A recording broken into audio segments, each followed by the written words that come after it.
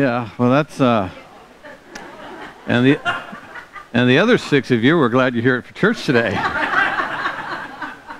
Hallelujah. Yeah. Well, Al, uh, Alvin, you in the balcony. I'll be looking at you and the other six of you, and uh, we'll be having a great time today. Ah, uh, well.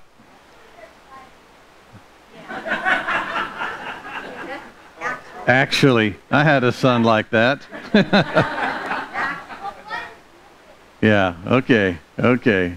We'll get you on the evangelistic field soon enough. Okay. Um, now, what a dedication is, um, it's scriptural, number one, okay? We don't christen babies because um, their will's not involved. You know, we're sprinkling kids and saying, okay, you're okay you have to be involved with this walk with Jesus, right? The only thing I can find in the Bible that we can do with kids is Hannah, she prayed and said, Lord, if you give me a child, I will dedicate him all the days of his life. So I believe in dedication. Now, even though Eve, bless her heart, wherever, where is the little one? She's up there. Before y'all come up here, she's clueless of what's going on today. So what is, what is this about today? This is about praying for mom and dad to have wisdom. How many of you got to have wisdom? I got it, bro. Hang on. Uh, it's not my first rodeo. uh, and we're going to have the grand the, the grandparents come up and the family, which will be probably two thirds of the church today, which is fine. Which is fine because every all y'all that come up, you're, you're showing that you're in support of the, this child, but also we're acknowledging you have a responsibility. This idea of, well, my kid's 18, I'm done, they're on their own, that's not in the Bible. Uh, most of them don't leave anyway, so you better, you better figure out how you can do this together in peace. But uh, it's, it's, it's, our, it's it's my job as a father to train up my children in the way that they should go. Um, it's my dad, my my job as a grandfather to make sure that my kids are doing that, doing it right with the with the, the next generation. So we we have a work to do here, y'all. And uh, children are the the heritage of the Lord. How many of God loves kids? Some of you going, yeah, he loved me when I was little. Now that I'm old, how he's I'm a booger. He loves you even more. Hallelujah. But he loves kids. So if we can get mom and dad and Eve to come up here and the grandparents and uh, uh, if, y'all just stand right kind of over here because I want to stand up because y'all are taller than me and I don't want to be a voice mumbling behind y'all. Any any more family members, uh, brothers and sisters, aunts, uncles? If, if, if you're part of this family, uh, then you're going to have you're going to be asked at times to babysit so mom and dad can get a night out. I mean, you know that's important. They haven't they haven't they haven't had one in a while, so uh, just FYI. All right. Okay, we're going to try to keep her happy, and uh, all right, Father God, we bring we bring this assembly. of people, moms and dads, uncles and aunts, grandpa and grandma. We bring all of us before your throne today, Father, and we acknowledge this precious life that you've given Matthew and Marcia. Lord, we acknowledge Eve, Lord. What a cool name. The beginning. Lord, so I just, and her middle name's Michelle, which is the feminine for Michael, and I, I thank you for that, tagging me in there. But that, that Michael means who is like unto the Lord. Lord, I pray, pray that little Eve will grow up and proclaim the goodness of the Lord all the days of her life. Father, I lay hands on mom and dad right now, and I just impart wisdom beyond your years. It takes wisdom to raise children because this world's never been in the shape it's in right now. And there's so much strife outside the home. That's why your home's got to be a sanctuary. Father, I pray angels of God would encamp round about Matthew's house and that Eve will grow up in Marcia's house, that Eve will grow up in a loving home and environment, that strife will be far, far kept away from them, that the love of God will flow through mom. The best thing you two can do for your daughter is love each other. When children are raised in a home of love, it breeds security and comfort and confidence. Lord, I thank you that Eve's going to have a good, strong sense of who she is because the seals of the Father are going to be set in her life. Her daddy's going to tell her all the days of her life how beautiful she is, how loved she is, how cared for, how, how that they appreciate. And they're going to take ownership. They're going to say, we, we, we, we, we, we made you. we don't ever want to get rid of you. We love you. And she's going to grow up in that environment. And insecurity will be an enemy that's far driven far away from her all the days of her life. Thank you for security and confidence and peace that this little child is going to grow up and be a light to all her little friends, even in even in the early days around little other children. She's going the love and light of God's going to flow through her. Jesus, we can know you. At, you said, suffer the little children to come to you. We can all know you at any age. So, Lord, I thank you that Eve is going to know you from, her, from this day forward. And you're going to reveal yourself to her. And she's going to grow up in, with a knowledge of who Jesus is from her childhood, from her youth. The Bible says, Remember the Lord in the days of your youth. And I thank you this child will. Father, give Mama the grace and patience and every virtue that's needed to, to be the nurturing part of her life, that she'll pour in nurture and love. Lord, bless the grandparents. Their job's not over. God, that you would continue to give uh, Matthew's dad wisdom to keep imparting to him. And Lord, we just love this family. Love, look at all the support. Father, I thank you. Heaven has, has been generous to this little girl. So, Lord, we just bless everyone involved in, in, the, in, in the relationship that's tied to Marcia and Matthew and in this child. And that Eve is going to be loved all the days of her life, and she is going to be secure in Christ. Our true identity comes from Jesus, anyways, that she will never be insecure, but be secure in the love of God all the days of her life. We give you praise, honor, and glory in Jesus' precious name. Amen. Amen. You did good little bit, little bit. You did good. Yeah. All right. Jason, come here. You and your sweet thing. What's her name? Carly? Carly. Y'all just got engaged, didn't you? That is correct. That is correct. Well, let me pray for you. The Bible says, He that finds a wife, that's the intent, right? Get engaged and. I hope so. Yeah. yeah. I'm going for. Yeah. He that finds a wife finds a what? A good thing and obtains favor with the Lord. She going to give you favor with God. It took something. Hallelujah.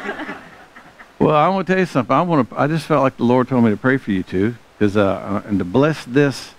Because see, your courtship now. When you got a date set yet? Yeah. Okay. We're hoping for June. Oh, come on. But it okay in the next eight or nine months, we're going to believe that that that this through this courtship, you guys, your heart's going to become one. That that your vision for what the purpose of God in your life, that she she can adapt to that. That she's yeah, I, no surprises. I said no surprises. Many of y'all want to get married? You want to you want to get married in light? Yeah, I didn't see that about you. I didn't know you. I didn't know you. So no surprises. So I'm, i really feel like the Lord's gonna in the next uh, seven eight months, He's gonna really do some cool things in both y'all. That's gonna take you. I know you guys are already. You already got you got that going on, but but get past that and get get into the deep stuff, where you actually tap into her heart, and you see the value that Christ sees in her and the and the vision and purpose that you know God has a plan for your life too, and uh, that God would do that y'all y'all would become one. And I know people have married for for decades and never achieved oneness. Okay, this is it's really a, a thing of the spirit to to make you two one. So God, I just pray for these two right now. I pray God that through this courtship their love will grow onto a level they never believed possible. I know they think right now, she thinks, I can't love him anymore. I love him with all my heart. And he feels the same way. But Lord, there's the depth of your love we don't even, can't even, we can't even scratch the surface of the depth and breadth of the love of God. Lord, let this couple be such an example to other young people. Nobody wants to get married anymore because they're so fearful of, of divorce and everything else. But Father, I, I say this, this marriage will prosper and Father, I say divorce will never come nigh its dwelling. I thank you, Lord, that they will be a light, a lighthouse to other young couples that will see if this is what marriage is, sign me up because there's a depth of love that comes through a covenant that will, doesn't come from just living together. So, Lord, I pray that you bless this, this union. And I thank you, Lord, that from this day forward, it's going to go to another level. And love and joy and happiness and peace is going to flow like a river through these two and it's going to be awesome. And we just give you praise in Jesus' name. Amen. Amen. You got a good one, buddy.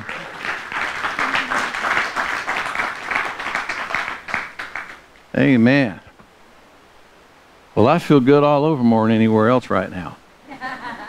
all right. Um, if you're going to Sunday school, Brenda's teaching today. And today it's uh, how to take a Big Mac and multiply it and feed 5,000. It's going to be. I know. I keep telling you, babe, I move in a realm you don't get. Um, has anybody got a cough drop? Anybody got a? Is there one back there, Dave? Uh, okay, okay. All these purses in the room ain't one, huh? Uh, Tic Tac won't work, huh? Uh, I knew. All right. What do you got? Ricola. now this is a this is a Halls. It's the right brand. Oh, I got choices. All right. Uh, this is Ricola. That's a little too radical. I want to be able to. I want to be able to read the Bible here in a little bit. And some of these things are strong. All right. Well, Lord is good, isn't He? Well, five of y'all believe it. I, I want to tell you to the rest of y'all, he's good. Hallelujah. Anybody this week been uh, battling a little bit of blues? All right, three of you. The rest of y'all lying, so uh, quit lying. You should not lie in the house of God. If you're going to lie, go outside and tell yourself whatever you want to believe. But I want to tell you something. The title of this message is called It Ain't Over. And I said ain't because I'm a southern man and that's a good word. It ain't over yet. Uh, we've been saying for um, a couple years now. Bible says, "Believe his, believe his prophets, and you'll prosper." The book of Amos. Believe his prophets, and you'll prosper. Um, so, I believe God said we're going to get four more years. Yeah, but they've already counted the votes. It don't look like it's going to happen. It ain't over. Trump is still president, and uh, and if some of y'all don't like Trump, then you're probably at the wrong place today. And uh, I'm sorry for you. But uh, the Bible says, He that endures to the end, the same shall be saved. So if you endure this, you'll be okay. But I want to tell you that, you know, sometimes when you read the Bible, you read these stories and you think that these, this happened to, other, you know, these were stories that happened to other people, but, you know, we're still in Bible days. The same God that parted the waters still does that today. The same God that makes a way where the Bible says there don't seem to be a way, he makes a way where there don't seem to be one. You know, God is notorious for showing up right at the last minute. I mean, that's who he is. That's how he, he does that so you and I have to stay in this thing called faith, where we have to keep believing him. You don't just believe when you first get saved and then you go on autopilot. You have to keep believing him. When the Israelites got to the, to the Red Sea, I mean, they were a little freaked out. Oh, great, there's an ocean here. And their enemies are coming breathing down our back, and there's mountains on both sides. Well, isn't this, isn't this convenient? I mean, it kind of looked like Moses didn't know how he, what he was doing. He was leading them below. Did you not see this ocean you was bringing us to? God brought them there for a purpose. So they would be still. It says, Be still and see the salvation of God. You know, if you're going to become president, you just have to do it the legal way. And you got to, the votes got to be valid votes. And I think I'm going to tell you something, body of Christ. There are things, did we not know that there is corruption going on that on levels we don't even have? I, I'm going to tell you something. There's darkness out there. There's levels of darkness I don't even want to know about. There's a thing called the dark web, and it's called that because you don't want to go there. The level of human trafficking in America, people's all, all freaked out about slavery. Guess what? It's still going on. Millions of young girls every year. Hello? That's called slavery when you're making people do something against their will. So, and just bear with me. I just this is for me if nobody else. Because I've been yesterday. Yesterday was not a lot of fun. I was not having. I, you know, when you're when you're with you, you're with you. Know, it's hard to get away from you when you're because you're stuck with you. And and if you're not having a good day and you're kind of fighting the blues, and every time you oh, turn on your phone, you're getting some little thing popping up, man, nah, nah, nah, you're just like, oh. You know, I don't even have those apps. I'm not even subscribed to those people. Why do they, you know, it's like, this is demonic. but, you know what? God is God no matter who's in the White House.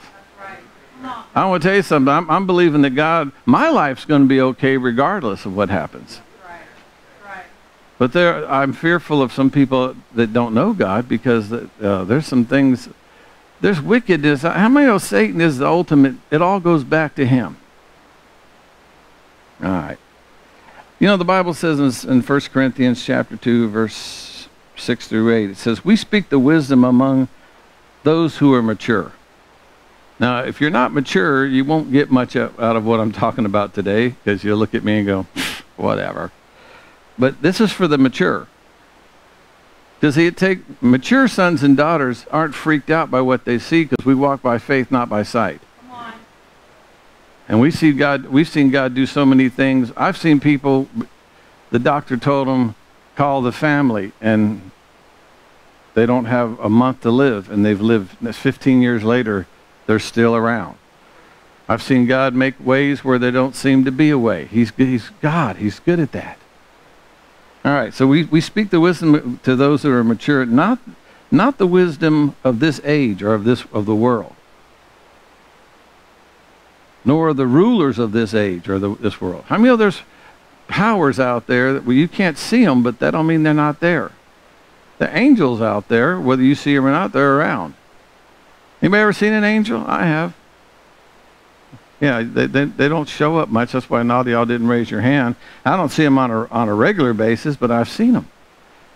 But I believed in them before I saw them. When you get to heaven and you go to the library and you get your video, you know, my call, and you watch it and you're going to see angels, because then, then, then the spirit realm will be revealed to you and you'll see the angels that, whoop, whoop, pay attention moved your car when you were reaching for a cassette or whatever, or doing, I dated myself, you know, an eight track, you know, and your car's going off the road, some angel's going, okay, okay, okay, okay. And, and it's because we think we're all good drivers. You know, they say on any given Friday night, every about every fourth or fifth car passing you has been drinking. So lots of people out there drinking. It's not about how you how well you are at driving. My wife drives a lot nowadays because I found that that's the best way it works for us. I like to look around. I'm a shepherd. It's natural for me to just always be checking out the flock. And uh, I find when I look, my car goes where I'm looking. So I'm kind of all over the road. We have no Christian stickers on our cars. You've noticed that? yeah, how come you don't? Because we, we got to pay more attention. I don't want people judging Jesus on my bad driving. and you that have stickers on your car, you better be focused when you drive because people are judging Jesus if you're all over the road. Honk, if you love Jesus, how about you just pay attention? How about give Jesus the wheel, like the song says? All right. So those rulers of the rulers of this age, they don't get it who are coming to nothing. I don't want you to hear that. How many of the rulers of this age, Satan and all his cohorts, they're coming to nothing. Last I heard, they end up in a pit. It's not a good place. We win. I don't know if y'all have read the end of the book. We win. And we do live happily ever after. And that's coming up quicker than most of us believe. All right, so the princes of this world, the powers of this world, you know, the Bible says Satan is the prince of the power of the airways. I mean, he controls media. See, then, see, to the mature, they're going, oh yeah. And um, the devil has a radio station. He has all radio stations. all right, come on. Uh, which none of the rulers of this world knew.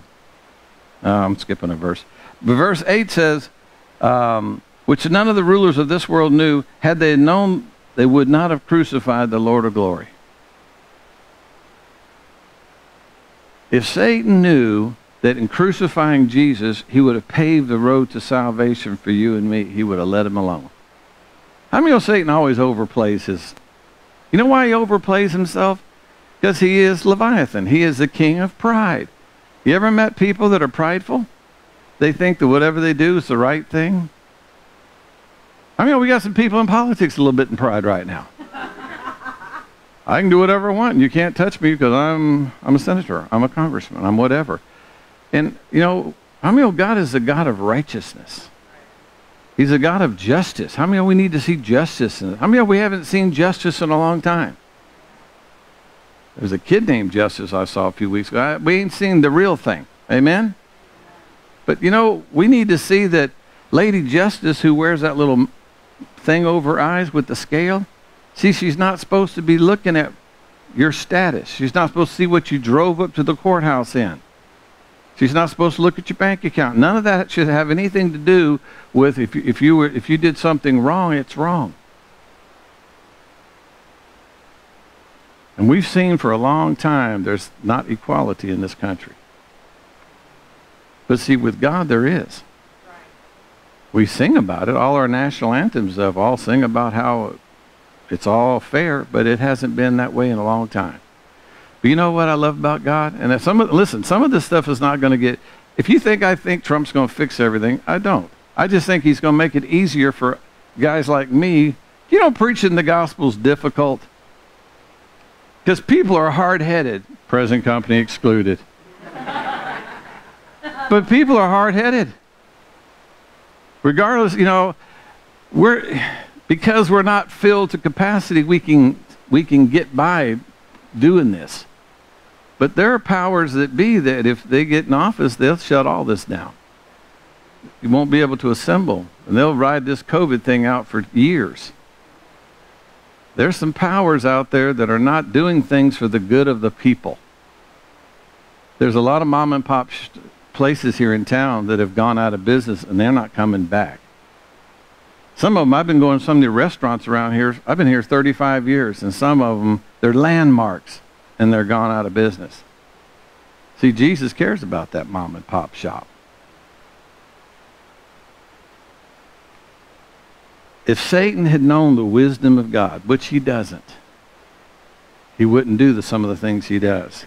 I want to tell you what I believe with all my heart. I believe there's a level of corruption right now that's about to be manifested. But it has to get down. To, it's going to end up in the courts. It's in a lot of stuff. Because if your vote don't count, then you're going to quit voting. And then we just give up. I, I don't want democracy to die on my watch. So I have a word for us today, and it's called It Ain't Over. so you that came in here feeling kind of, oh, you should not leave that way. You should leave believing. I want you to keep believing and see right now we got to stay in faith. We got to keep believing what God that God's not finished. That it will go to courts. They will they will and the people, the powers that be will search and find dumpsters full of things. How I many other stuff out there hidden? We just ain't found it yet. But don't look like there, there's that much evidence. Well, you know, people that are crooks don't try to leave a trail of it around for people. They're not like, let's rob the bank and these, let's leave dollars so they can find us. No, it's all about secret, lies, darkness. But Jesus is going to turn the light on. We got a harvest to bring in. That It's been prophesied over a billion people are coming in before Jesus comes back. A billion people. That's a lot of folks. And you know what? We we need some. It's hard enough just getting people to see the truth, let alone with all kind of legalities and stuff that are making it difficult for us to get together. See, some people aren't thinking that way, but I'll tell you what. Satan is the king of pride. He's a liar. Liar! Jesus said, every time you open your mouth, devil, you're lying. When people come to me, Brother Mike, pray for me. The devil's been telling me. Whatever they're about to say is a lie. They've been telling me I ain't saved. Well, that's a lie. Flip it. You got the truth. I'm saved. There you go. Telling me God's mad at me. Flip it. God's not mad at me. If you say the devil's been telling me, it's amazing how we can hear the devil's voice, we can't hear God's voice. Satan's a liar. He's a deceiver. And he's lying to folks right now. And there's people right now going, okay, we give it our best shot. I voted. That's all I can do. That's, I, I voted. And if you didn't vote, you you just shut your mouth. You ain't got you ain't got a horse in this race. You don't need this. Well, you know, I was counting on a lot of a lot of young people not voting, but it looks like some of them did. Okay, look at me with that. that I love you, brother Mike. Look. Now here's what I want you to see. This is important. In Isaiah, in Isaiah, I want to tell you something. As a country, we cannot continue to do the stuff we're doing and get away with it. You can't kill 60 million babies and God just look the other way. God says, Six things I hate, the seventh is an abomination. And the first one on the list is hands that shed innocent blood. You, it don't get no more innocent than the womb. It's amazing that when they're working on people at the hospital, when do they pronounce them dead? Not when they're brain dead. They to have them on machines and stuff. It's when the heart quits beating. But you know, why won't they say they're they're living when the heart, you know, is beating? Because that's one of the first things you can hear when a woman gets pregnant. I mean, it's it develops almost right away. Well, we've been doing this for. I want to tell you something. I hope I live to see the day that Roe versus Wade gets turned over. And I am, I am not being politically correct. So you that came for a baby dedication, you may have to endure for a little bit, or you could get up and leave if you have to, because I realize some of this is hard for some people. But I'm going to tell you something. God is a loving God, and He's a merciful God. He's an awesome God, and every life matters. Every life matters, and especially babies. And we got to fight for them. Hallelujah. I want to tell you something about the devil. I mean, he's a dirt ball. Oh, she, that was a great place to amen right there. I'll just re- I'm going to do that again. Hey, guess what? The devil's a dirt ball. Yeah, he is. He's a dirt ball. He's the, I want you to understand who the devil is. He's the guy that when drunk, a drunk driver's out there driving and he hits a minivan and kills everybody in the car, he's on the side of the road going, yes! See, that's the devil. He hates people. Why? Because God made us. We're made in his likeness and image. He hates you. Well, maybe he'll, I'm praying he'll get saved. Those are wasted prayers. Because he's an angel. There's no grace for angels. If angels, if angels sin, it's over. Some of y'all think when you die you become an angel. That would be a decrease. Angels get one shot at it. And it's only happened once in the entire history and a third of the angels were were Satan's really good at deceiving. He deceived a third of the angels, and they were kicked out of heaven. And that's been now those that kicked got fell out of heaven. They've been messing up ever since. But the two thirds that stayed, they're righteous. They're awesome. They're powerful. Some of them are as big as 747s. They're huge. They're warring angels. There's messengers. See, some of y'all think you think ba- angels, you think little babies in uh, diapers with little wings on the back, Cupid. You know, Satan wants you to think that because that, that who's afraid of look a baby with a no, angels are mighty warriors, and they answer to God, and they don't when God sends them on an assignment, they don't come back and say, We tried. They don't come back till it's accomplished. I love that about them. They ain't like you and me. Well, I gave them my best shot. I prayed 10 minutes.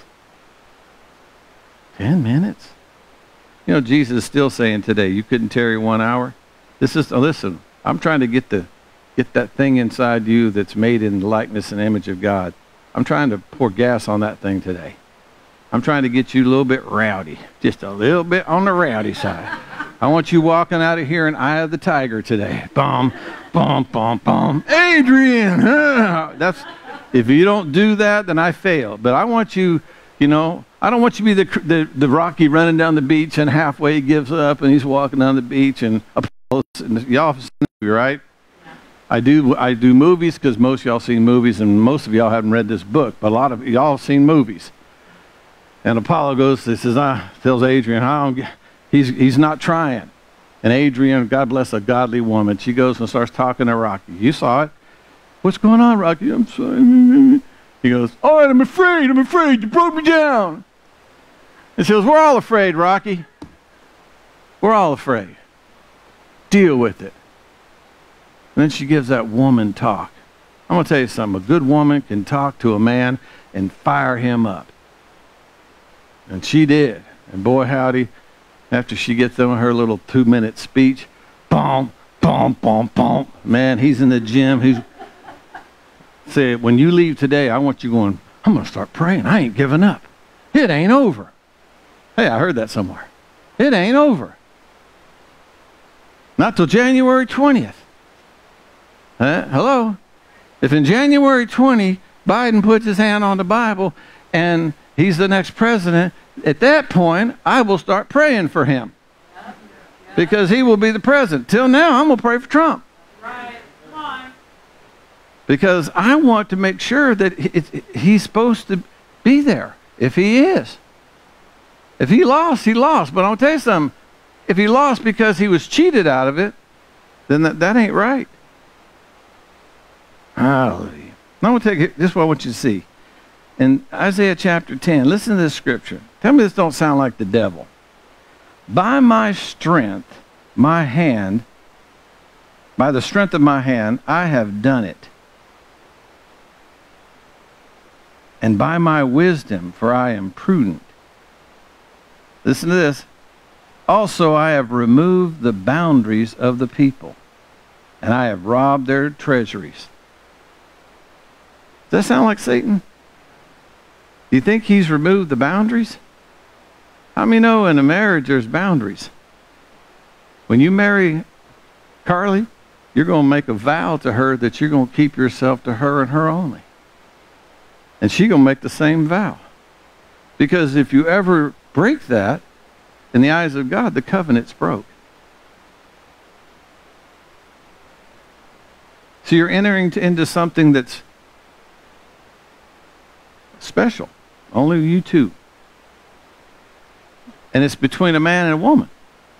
I mean, that's a boundary. Bible says don't remove the ancient landmarks. Brother, for hundreds, centuries, it's been men and women getting married and producing children. Because two women can't produce a child, nor two can two men. Hello?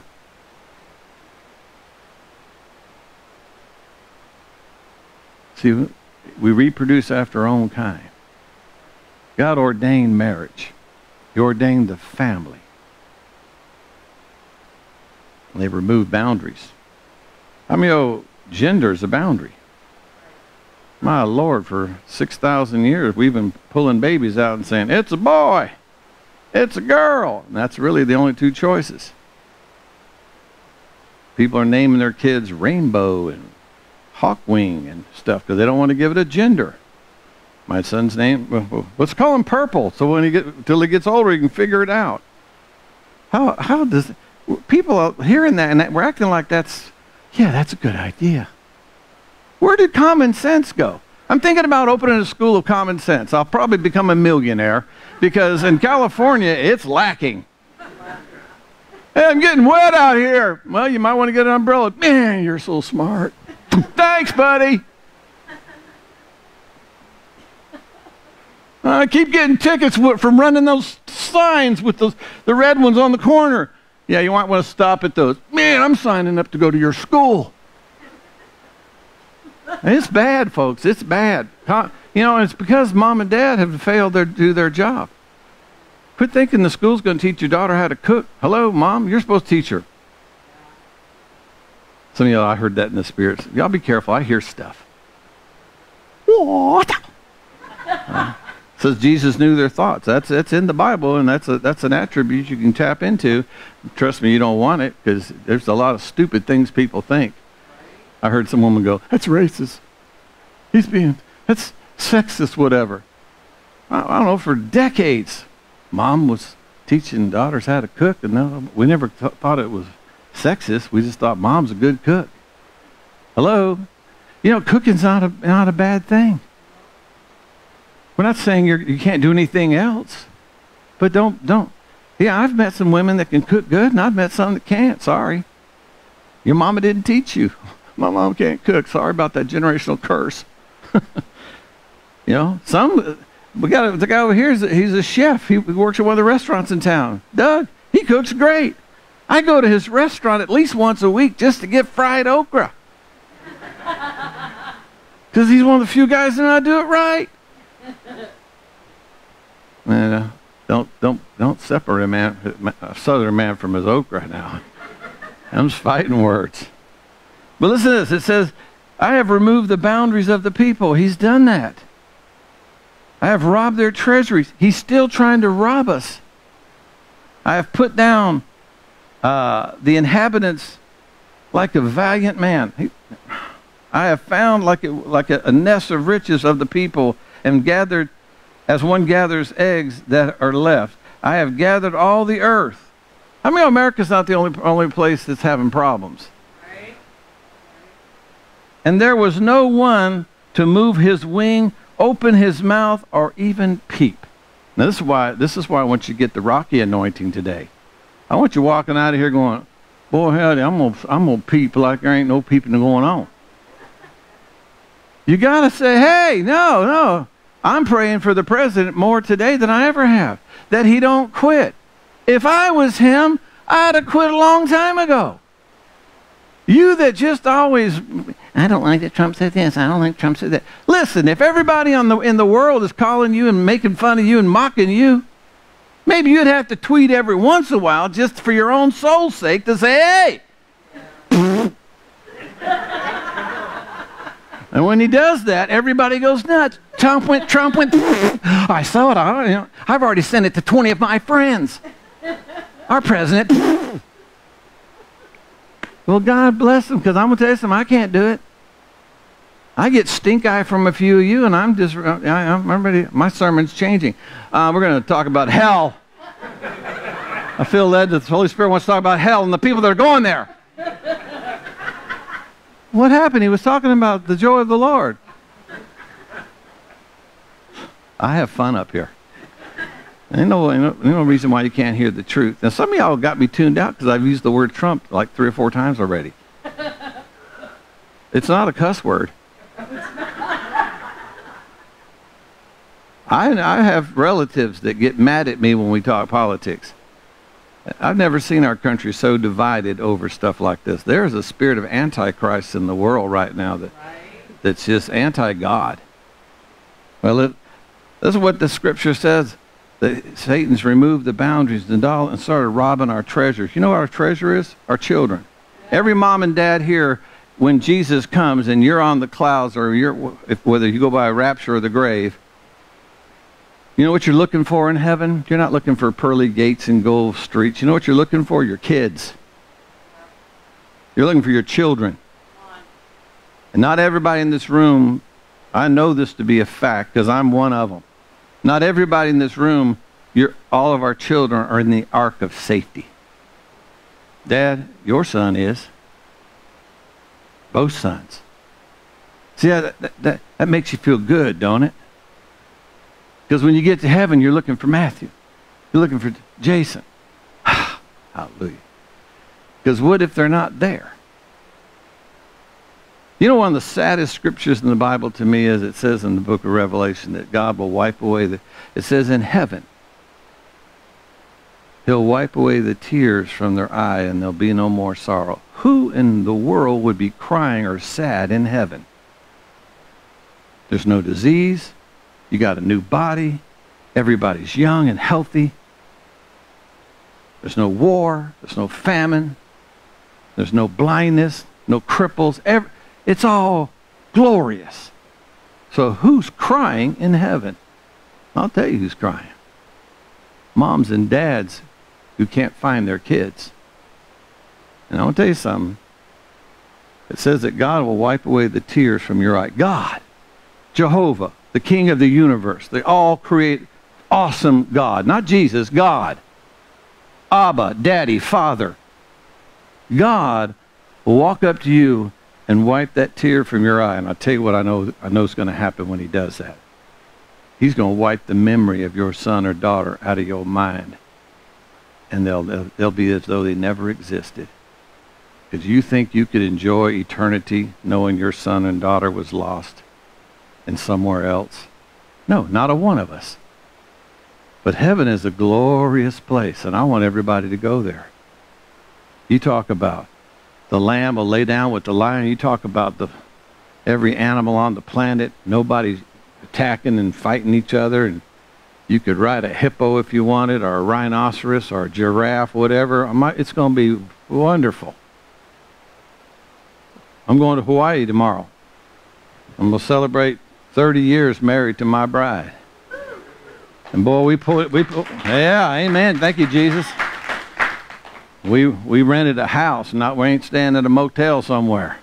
We're doing, we pulled all the stops out, Kevin and I. We, we went, go big or go home. We're going big.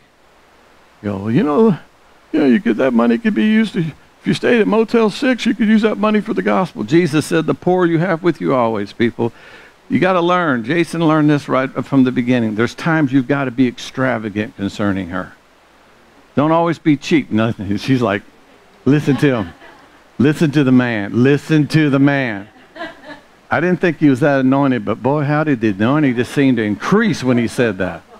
But guys, seriously, it's amazing what you buy in tools and everything else and toys and stuff, and then when it comes your wife's anniversary or something, here, baby, some chocolates. By the way, that dress is fitting a little tight on you. Like, really? Really? You need to be extravagant. One day, a, a woman walked in with this alabaster box, expensive perfume, and busted it and started pouring it on Jesus' feet. You know what the disciples said? What a waste. That was expensive. That was a year's wage that could have been sold and we could have fed poor people with it. You know what Jesus' response? He said, Shut up! What she's doing is valuable. She sees that I'm worth it. If you don't see that Jesus is worth it, you haven't met Jesus yet. Religion ain't worth squat, but okay?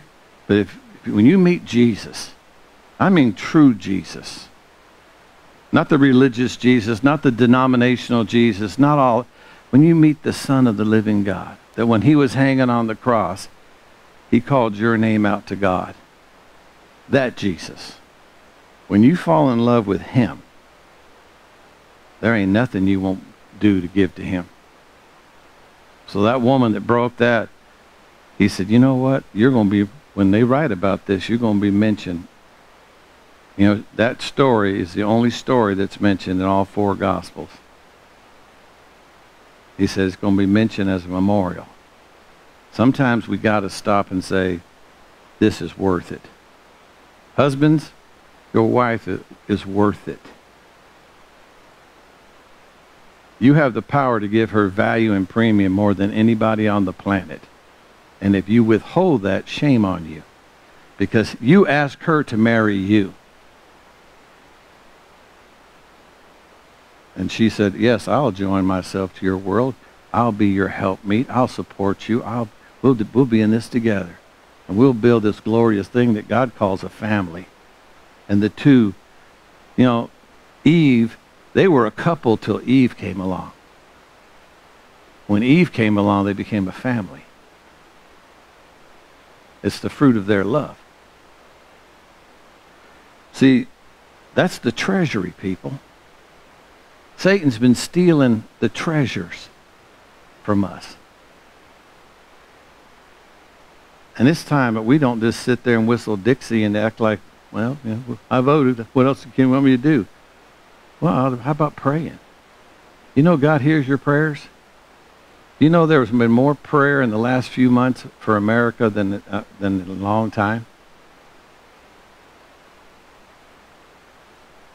Jonathan Cahn had a big, big prayer movement going on, and Billy Graham's son, uh, Franklin, had one going on at the same time.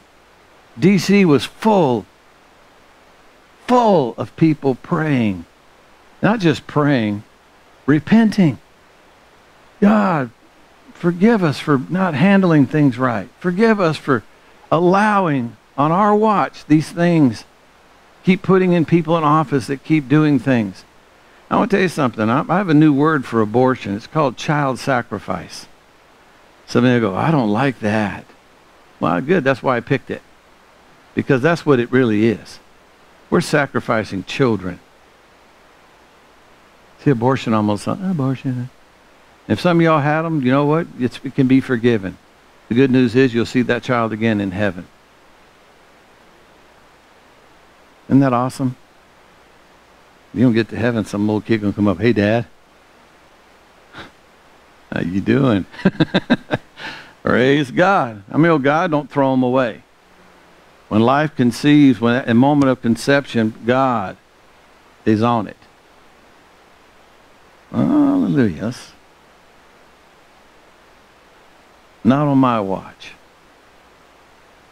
Satan gonna think he's gonna keep stealing from from us parents and grandparents, we're going to stop it.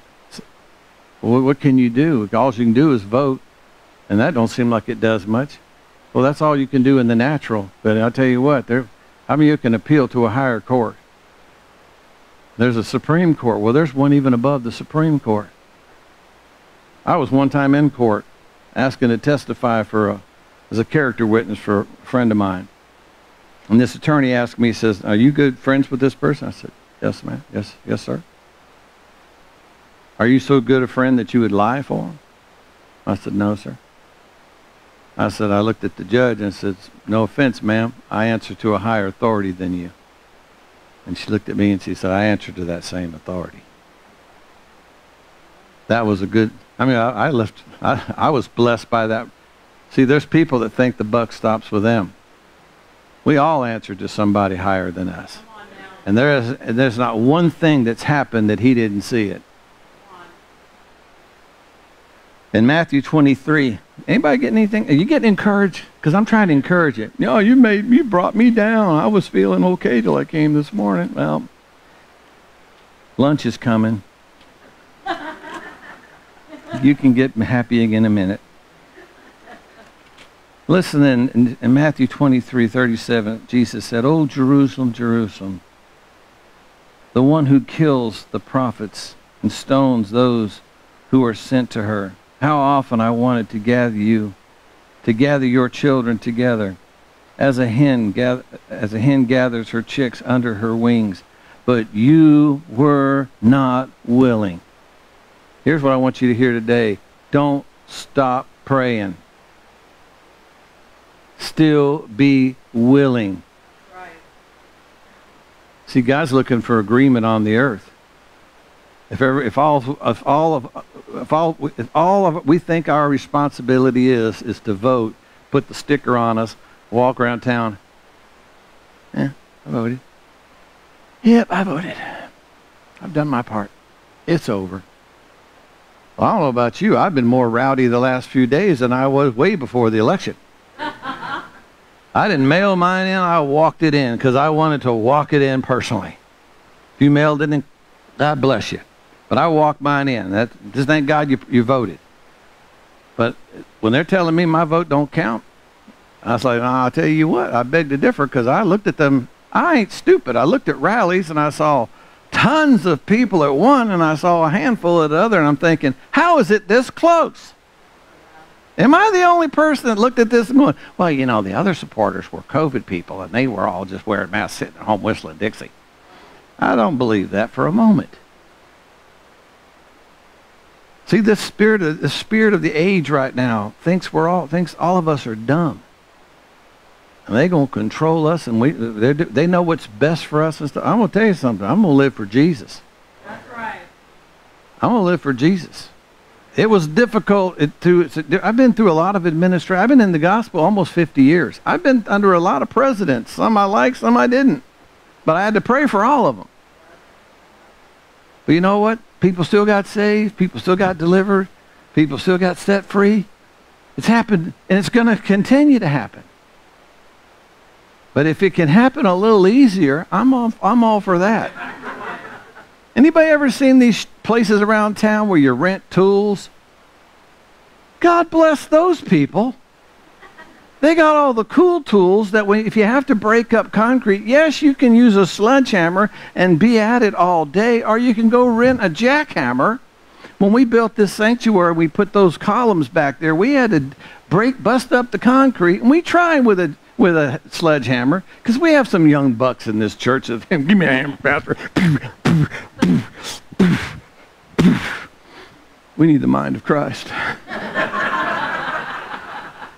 this concrete is hard, and I've gave it all I got, and I better put a dent in it. We need, we need the mind of the Lord, which is inter- the interpretation is we need to go rent some equipment, some power tools. How many of y'all like power tools? I did a sermon one time about the power of God, and I used different tools up here. I had a handsaw, and I said we got to cut uh, 150 two by fours. Now this is your this is your assignment. You can use this 150, or you can use. I had a plug-in power and cut right through it. And then I had a cordless. I had all these different kinds of saws. And I said, which one do you want? Well, this was a no-brainer. I'll, I'll take the power tool for $20. And it was. Because it's, why would you do it on your own? How many of we don't have to do it on our own? Right. I mean, God's the power we need to tap into. Last I checked, He's still God. But it says, but you are not willing. Don't give up to fear. Here's my definition of fear fear means false evidence appearing real. F E A R. False evidence. Well, they got the balance, they got the votes. What else can we do? That appears to be real. Well, that's fine. Just find all the other votes that are in trash cans and dumpsters and count those. Stay in faith, people. Daniel chapter 10, it says, you know, he was praying about something for three weeks, 21 days. And then the answer came. Then God spoke to him and said, Then he, God, said to me, Daniel, Do not fear, Daniel, for from the first day that you set your heart to understand, to humble yourself before your God, your words were heard. How many oh God's heard your prayers? He's heard mine and heard Alvin's. Anybody else he heard? He's he heard your prayers? Or is it just a formality we do because, you know, we hold hands at church and somebody quotes Second Chronicles, Chronicles seven fourteen. If my come on are called by my name will humble themselves. We do that thing. Now that thing is the word of God, and it, it's either true or it's not.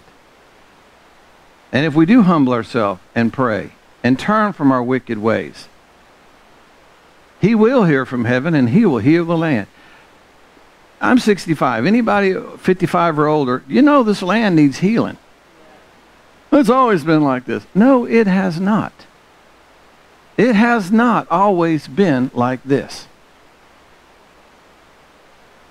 You ever watch Andy and Mayberry, the Andy Griffith Show? That's how I grew. I, that, I'm Opie. I'm same age. Wore some of the same clothes. I watch episodes. I had that shirt. I had that jacket. But it was that kind of an in- innocence back. When I went to elementary school, you, you rode your bike to school, you got off of it and went inside. You didn't lock it, bolt it, chain it, take the tube out, put it in your pocket. Hello? And when you and you didn't walk around recess going, I think it's still there? I don't know. It's on the other side of the school. I can't go over there to see. You didn't worry about it being there. When you got out of school, you went to the bike rack and got your bike and you went home. Some of y'all look at me like, that happened? Where'd you live? Christianityville? no, I lived in Otay, California. Oh, yeah. There was a time it was safe. It ain't always been like this. He said, the day you prayed, I heard you. Isn't that cool? Your words were heard. And he says, and I have come because of your words. How many of you, he's heard our prayers? And in the next two and a half months, he's coming for those words. Now, I'm going to believe that something's going to happen in the next two, two and a half months. I'm going to keep praying till January 20th. How many will agree that you'll keep praying for the next two and a half months? None. Now, I'm going to say, I'm going to say keep praying for the president we have right now. Because he's still in office, so keep praying. Pray he don't quit. One thing I like about this boy, he don't quit. I had never met a man so so thick-skinned and so I would have gave up a long time ago. I don't know, everybody thinks they can throw stones at the man. We could not take near what he's gone through and not accomplish as much as he's accomplished. He ain't done nothing. That's because you listen to the wrong source. That's right. He's done tons. Israel's in a better place than it's been in a long time. He's done things with Israel. You know, God says, if you bless Israel, I'll bless you. Right? This country's been blessed because of that. In a pandemic, the economy's still doing good. Yeah. I mean, uh, what? hello? Sometimes we act like I, they said it's not, so they must be right because whatever they say is the truth. We gotta, people, we gotta keep thinking for ourselves.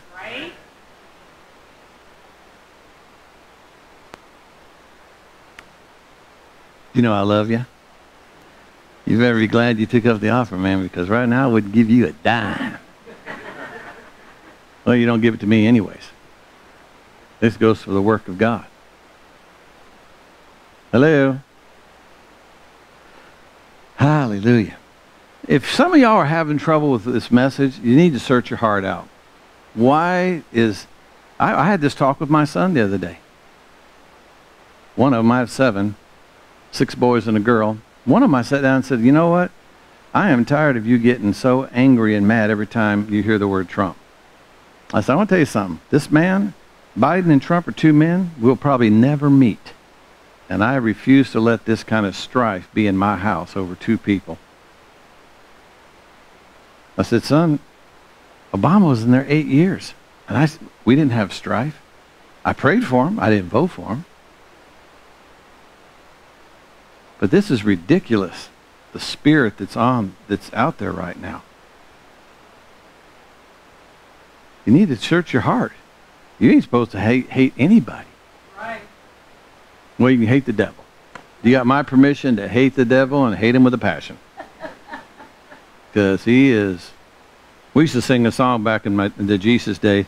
It was called, we sang, Satan is a liar, gonna burn in a lake of fire. Whoa, Satan is a liar. It's a happy song. Gonna burn in a lake of fire. Satan is a liar, gonna burn in a lake of fire. He's gonna bake in a lake of fire. Yeehaw! All his screaming demons gonna burn like crispy critters. Yeah, all his scream. Yeah, isn't that a great song? I had a guy come up to me after church one time, kind of teary-eyed. Uh, I didn't like that song because you know, I'm praying the devil gets saved. It's like, wow, that's your wasted prayers. He is he's an enemy, people. He hates everybody on the planet. He wants everybody to be miserable. Amen? Some of you going, your worship definitely has increased since those days. Yeah. Well, thank you. I mean, I think it has too. One more scripture and we'll be dismissed. Thank God. I don't know if I could take any more of this. I didn't sign up for this. I came to watch a baby get dedicated, and I'm having to hear stuff I don't even want to hear. Well, some of us do. You know, sometimes I have to listen to things that I don't want to hear either. But you know, I don't go home. Now, if you go home and throw darts at my picture, or whatever, and stuff, or go online and say nasty things, whatever, whatever you got to do to make yourself feel okay. But you know, the Bible says you got to give an account for every word. And here's a freak out. The Bible says the books were open and they were judged according to all that was written in the books. What if one of those books is Facebook? You realize everything you've posted out there, you're going to have to give an account? Oh my gosh. Yeah, repent and quit doing it. Right.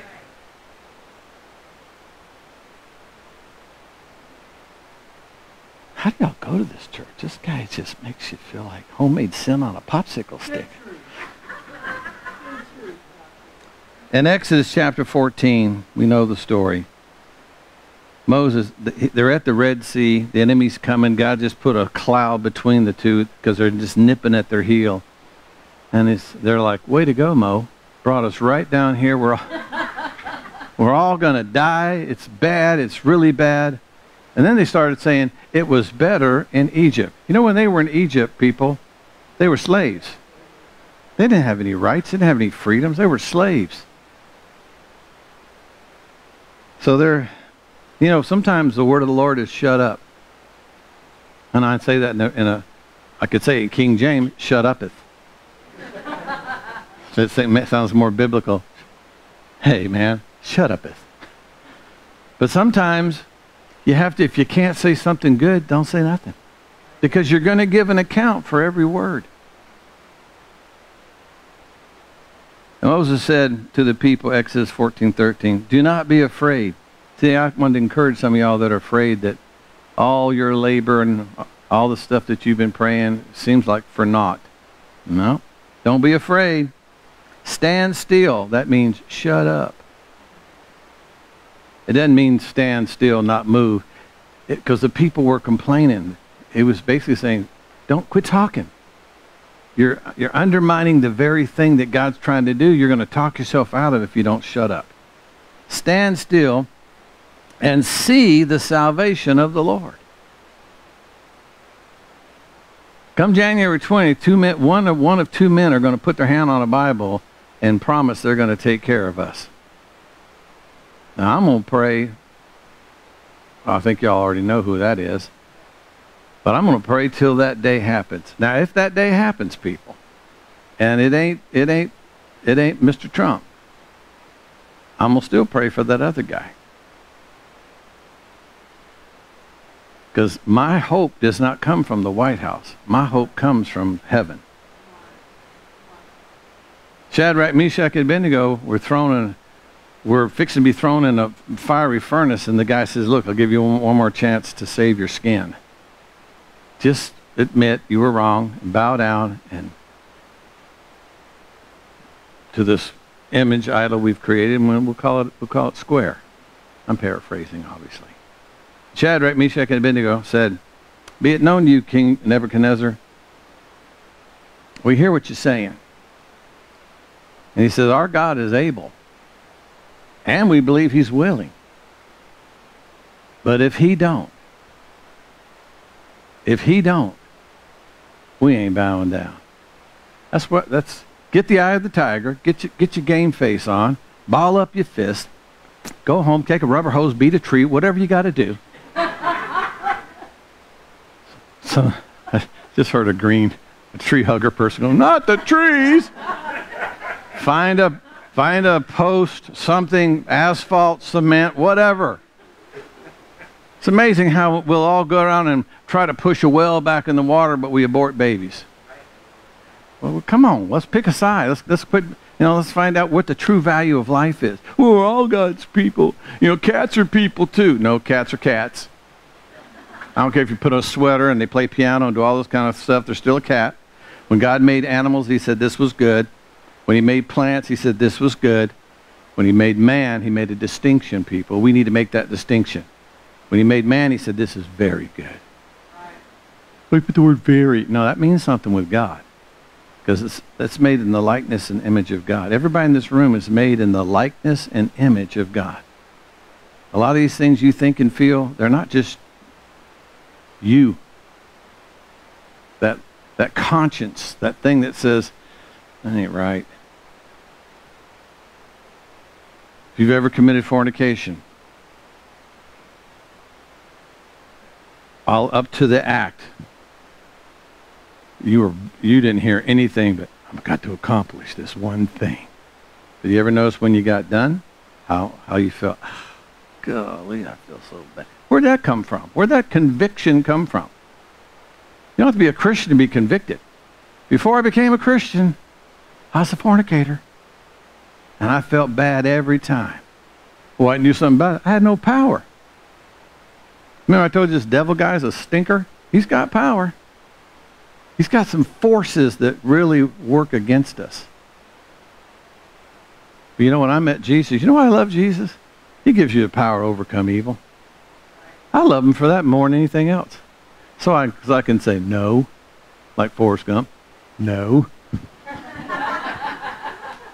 no, I'm not going to fornicate no more. I love Jesus. And I you, y'all might not think that's a big deal, but I, I'm pretty happy about that. My wife's ecstatic. She likes that. I like being able to say no. Isn't that wonderful? And not just to that, it's every other sin out there. I don't need a button to tell me I'm sober. I'm sober. Amen? Let's get some bigger goals in life. How about telling I led 10 people to Jesus last year. Woohoo! That's a that's a that's a badge you want to wear. He tells them, Do not be afraid, stand still and see the salvation of the Lord. It says, which he will accomplish for you today. For the Egyptians, whom I want, wanted to say Democrats, but the Lord wouldn't let me. Oh my gosh! For the progressive. For the Egyptians who you see today, you shall see again no more. The Lord will fight for you. This is at a place right now, body of Christ, where the Lord has to fight for us because we've done did what we can do. Now the rest of us have got to get on our knees and fight like a man. Hit your knees. That's when you're the strongest, when you hit your knees and say, okay, God, I've done everything you told me to do. And now it's, I'm appealing to heaven. Lord, you need to go before me and make the way straight. You, if it's your will. Thy will be done. Kevin and I were talking about this the other day. How many know God don't always get his way?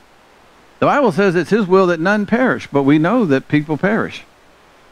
But it's his will that none perish. People perish every day, lost for eternity. He don't always get his way because he gave us this wonderful gift called free will, and I like it because it's a choice. I love God as a. I came to church today as an act of my will. I came here today because I love God. Some of y'all might have came because you love Matthew and Marcia, and ain't nothing wrong with that. They're cool people. I know why you love them. And you know, you know what? They wanted me to dedicate them because, like, hello, cool. Look in the dictionary under cool. Oh, it's a picture of me. Gosh, this guy's full of himself. Thank you. You know, the Bible says you love your neighbor as yourself. If you don't love you, you can't love us. Right. Do I love myself? Yes, sir. I love the work of God, the grace of God. I know who I used to be. I was selfish as the day is long. I was not a nice person before I met Jesus. When I met Jesus, he put love in my heart, and oh my goodness, it changed me forever. I like this person that God has made. I live with me all the time. I'm, I should like this guy. I'm stuck with him. You should love yourself. And you, not just, well, I love, I love people the best I can. Well, you're ripping us off if it's we're getting your love when you can have God's love. Jason, don't ever, don't ever compromise and give her, you get the best of my love. Come on, you and the Eagles can sing that, but it's, let's give her, give her the best of his love. Because your love will run out. It's carnal. Everybody's love runs out. But his love is renewed every morning. His mercy is renewed every morning. You know, every morning God says, do over. Wake up, you get a do over. Hallelujah. Yesterday's gone. Let's try it again. Let's, let's, let's get a do over. Aren't you glad for a do over? I wasn't that happy yesterday. I kind of had, I had to, this morning I was, got up earlier. I was sitting in the hot tub. I like to, I, have, I mean, God have good talks in the hot tub. I don't know about you, where you, I don't know where you pray. I try to pray on gravel on my knees to show my, well, he's not impressed with our pain. He's only impressed with the pain that Jesus went through on the cross. So any dead works we're doing to try to impress God is a waste of time. So you can pray in a hot tub and he hears you just as well. But I found myself repenting this morning for my attitude yesterday. because it was just I didn't have a good attitude yesterday. A lot of stuff was going on, um, and it just people were being hard headed. You know, how many of y'all don't like to reap where you haven't sown? You ever notice how some people can sometimes affect your life in really adverse ways? Well, that was yesterday. Not so much for me, but my wife and her friends. A whole day spent because somebody's being a knothead. Brother Mike, don't call people knothead. Okay, boogerhead. I'm not going to find a nicer word. Because some people just have problems. Some people are selfish. Some people don't care about others. And I used to be one of those guys. And so did you. The Bible says, and you had the quickened who once were dead. Hello, dead people.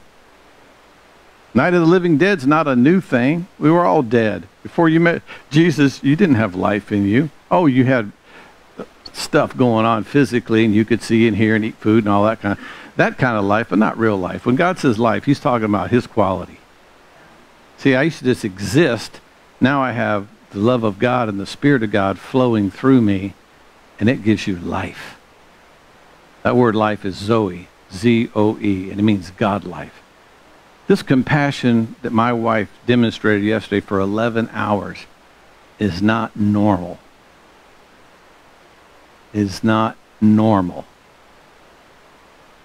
Because sometimes you're doing things for people that have done this for a long time and they're not they're, they haven't quit.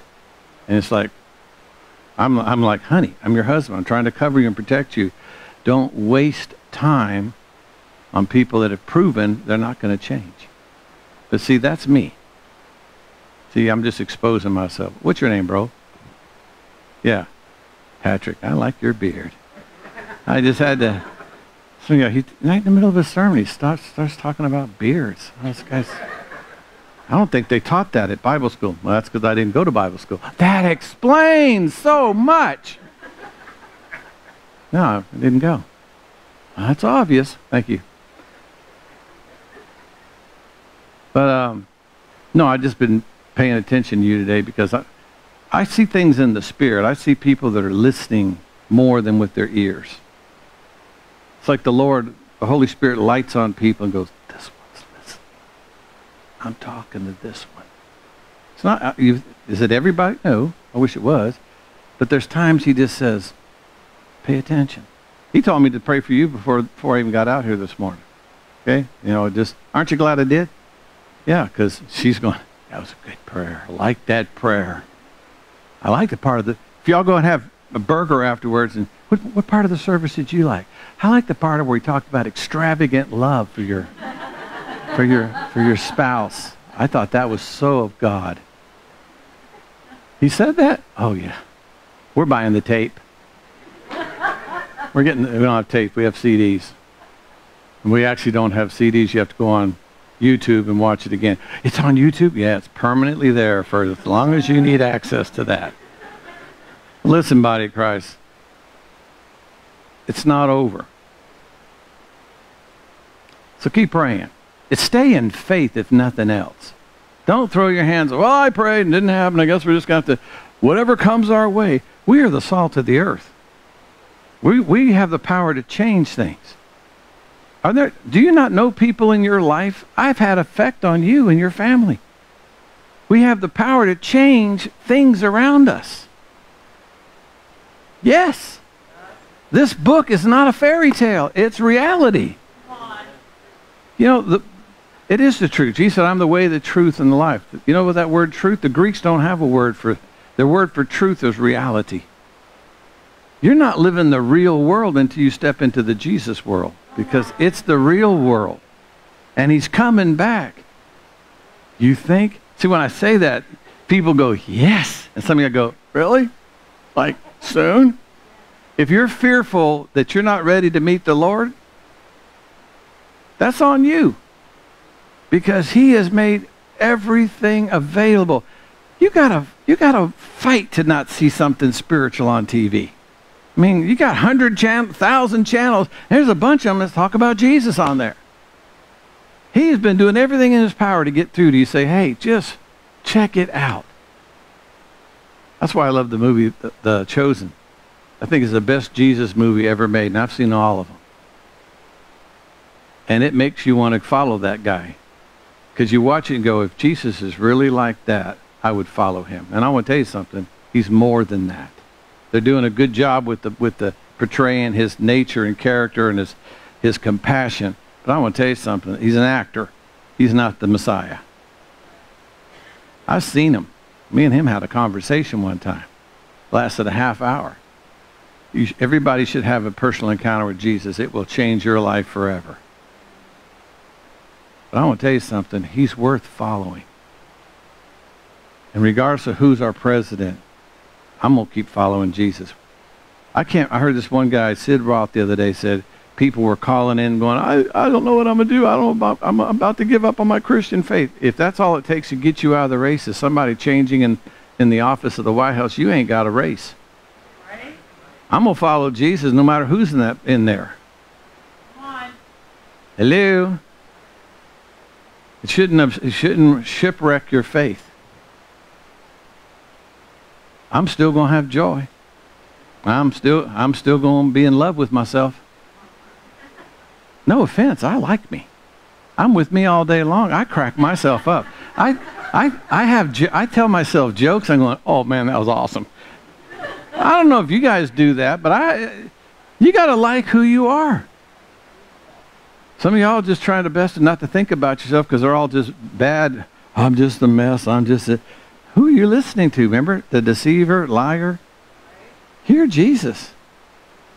He loves you, man. He thinks you're awesome. And he's with you everywhere you go. You think he is? Oh, yeah.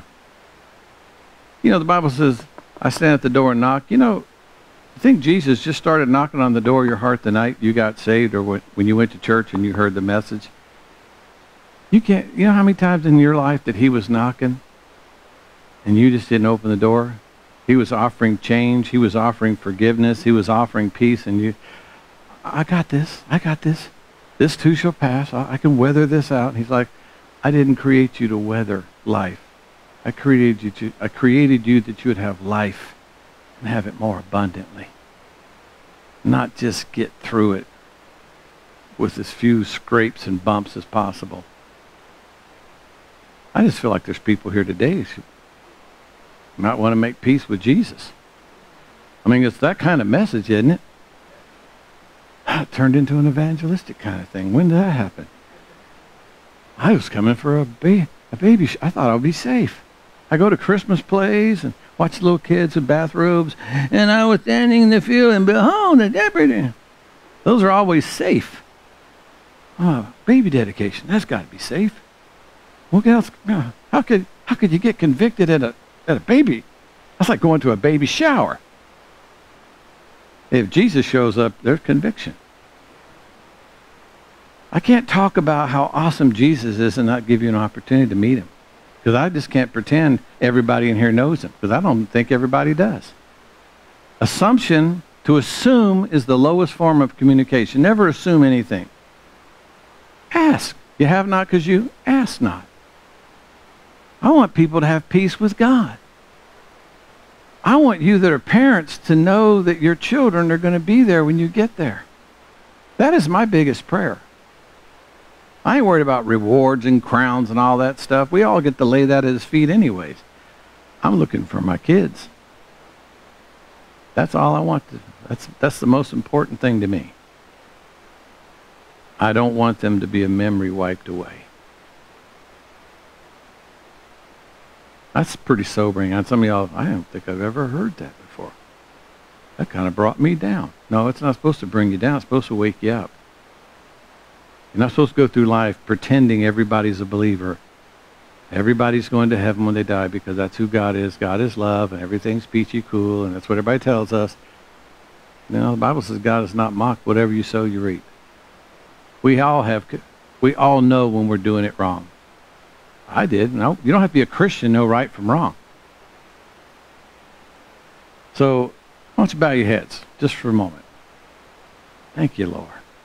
If you're here today and you have felt something in this room that you didn't feel before you came in, because I believe that we sang about it today, in your presence in your presence. See, the presence of God is in this place. You know why we assemble every Sunday and meet? Because we want to get in that presence. Because then that presence, hope comes alive. Faith is energized. Our souls that are cast down get lifted up. There's a lot of disturbing things going on all around us. If you're here today and, and you just feel like, I know about, I, I, I hear what you're saying, Brother Mike. I feel that presence. You know, that presence isn't telling you you're scumbag, you're a terrible person. That's not Jesus. Jesus said, I stand at the door and knock. And knock. If any man hears my voice and opens that door, I'll come in. What door is he talking about? He's talking about the door of your heart, the control center of your life. You know, true repentance is coming to the end of yourself saying, Lord, I'm, I'm making a mess of my life. All the decisions and choices I'm making don't always seem to work out, and I, I don't know how to make any better ones. You know, we're all broke. You grew up in broken homes and broken marriages and all. We're all broke on some level. How are you going to make right choices when you grew up wrong? In a wrong, broken world. Even if you grew, grew up in a Christian home and everything was godly around you, the world is still broke. If you're here today and you say, Brother Mike, I, I want peace. I want peace, the peace you're talking about today. I want peace. If you want to make peace with God, slip your hand up and I want to pray for you. You want to make peace with God. Let's see that hand. Or anybody else? You want to make peace with God. You're t- quit doing it on your own. I feel like there's believers here this morning that are raising their hand because you just realize you realize today you're still making choices and you're still the boss and that doesn't that don't work. You can't be the boss. We used to have a banner in the church here that said give it to him and him's capitalized. Give it to him whose right it is. If you're tired of making a mess of your life give it to jesus and let him take the lordship of your life let him start checking in with him about decisions and stuff and watch Watch where he leads you. He'll lead you out of the wilderness into literally the promised land. He'll make your life way better. Hallelujah. It's time to make peace with God. You that raise your hand, just stand up where you are. You don't have to come down here. We're just going but I want you to stand up for Jesus. All right, just stand to your feet real quick. You raised your hand, you said, I'm, I want to make peace with God. Even if you're a Christian and you just heard something today that spoke to your heart and said, I'm not, I'm not letting Jesus have the full control. Then that's okay. Let's give it to him today. Let's give him the right. Hallelujah. Hallelujah. All right. You that are you that are standing, we're going I'm going to pray for you right now. Now, I want you to pray this with me. Some of y'all raised your hand, you couldn't stand. I don't know why, but that's okay. You can still pray this prayer. Maybe you were just raising your hand in agreement. I, that's okay too. You're agreeing with what I said. But to you, you that are standing, we're going to pray this prayer because your words, Jesus said, by your words you're justified, by your words you're condemned. You have the power through your words to make peace with God or to reject Jesus. It's all in your, it's not on him, it's on you. So you standing right now, I want to pray this with you. I want you to repeat after me. Heavenly Father, in Jesus' name, I humble myself. I acknowledge my way's not working. I want to give it to you. It's your right. You bought me with your own blood on the cross. I'm surrendering my rights to you. Lead me and guide me from this day forward. Give me a heart of referral that I will check in with you on a regular basis. Thank you, Lord, for delivering me from myself. In Jesus' name. Amen. Well, several of y'all prayed that prayer, and I want to tell you something. Something really did cool happen because you're getting free from you. Some of y'all walked in here not so happy. Some of you are going to walk out not so happy. You know whose fault that is? Not mine. I'm real careful about blood being on my hands. You know, being a preacher is a fearful thing because I have to give an account. Every time I step up here, I have to give an account for every word. And if you walk in here and your life's miserable and you walk out of here, if I didn't tell you the truth, then your blood's on my hand. But if I told you the truth and you didn't respond or, or, or act on it, that's on you. That'll be one day in judgment where Jesus said, You know, I don't remember you knocking on my door. He'll say, Oh, really? Remember you went to that Matthew and Marcia's dedication? I knocked that Sunday. And he'll tell you all the other times in your life where he knocked and you just said no. See, I'm radical. I know I'm radical. I look radical. I wear radical. I mean, I just don't look like a normal preacher. And people say sometimes, "Man, I didn't think I didn't think you was a preacher." Thanks. I take that as a. I don't want to be that cookie cutter out of Bible school kind of guy. Um, because I want to be the guy that loves people and tells them the truth. That's who I want to be. And I just want you to know, some of y'all today, for whatever reason, you had trouble and you're warring with something going on inside. Maybe you need some more time. Maybe you need to sit down with me or somebody and say, I need some splaining. Lucy, you got some splaining to do. Maybe, maybe you need to have me sit down and do some splaining. Because, you know, when you give your life to Jesus, that's not something that you, that you take lightly. That's not something that's flippant. Because he's not flippant. He didn't flippantly die on a cross. It was well thought out. And I love him. He's awesome. Did I tell you how awesome he is? Uh-huh. I did, because he is so awesome. I'm not ashamed. And I believe before he comes back, it's going to be real evident who, who loves him and who's on fire, who's not ashamed to say, I love Jesus. Some people find it easier to say, I love Jesus than I voted for Trump. Trump gives you more persecution than Jesus at this point right now, but that's okay. You know, I'm not ashamed to call him brethren. I just love God. I love all you guys. I love you. I'll teach you that song about screaming demons. It's a classic. It's a classic. All right, you're dismissed in Jesus' name. Turn around, hug somebody, look somebody, and go, man, I think every word he said was for you.